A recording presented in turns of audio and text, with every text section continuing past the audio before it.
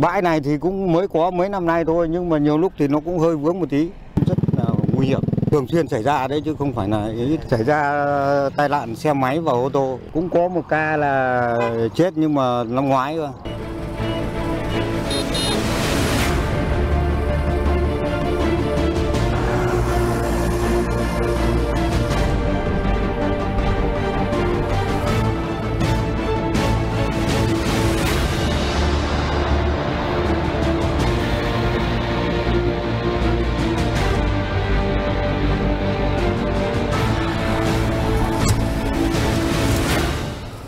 Thế trước đây thì thôn của những nhiệm kỳ trước này thì đã họ đã ký tự ý ký với cá nhân. Còn tôi với đồng chí chủ tịch thì đều là mới sang.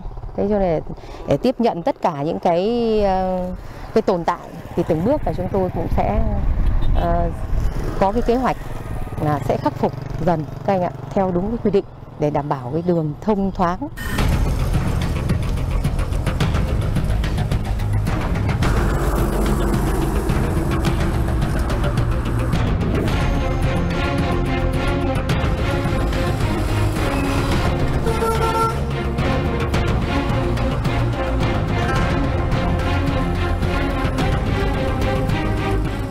Thì cái bãi à, tập kết vật liệu này trên hồ sơ thì nó nằm ở trên cái đất của một phần là hành lang giao thông, một phần là của đất công.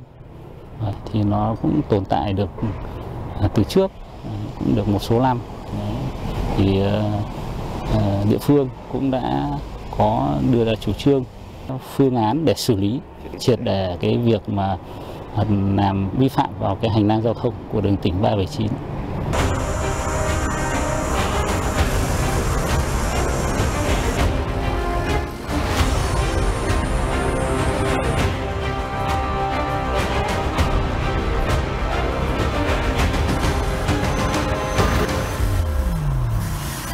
Thưa quý vị và các bạn, ngoài việc vi phạm kế hoạch số 93A của Ủy ban nhân dân tỉnh thì các bãi tập kết vật liệu nhỏ lẻ này còn gây bụi bẩn, nguy cơ mất an toàn giao thông, thậm chí để lâu dễ dẫn đến tình trạng lấn chiếm đất công. Thế nhưng xem ra chính quyền các địa phương chưa thật sự quan tâm.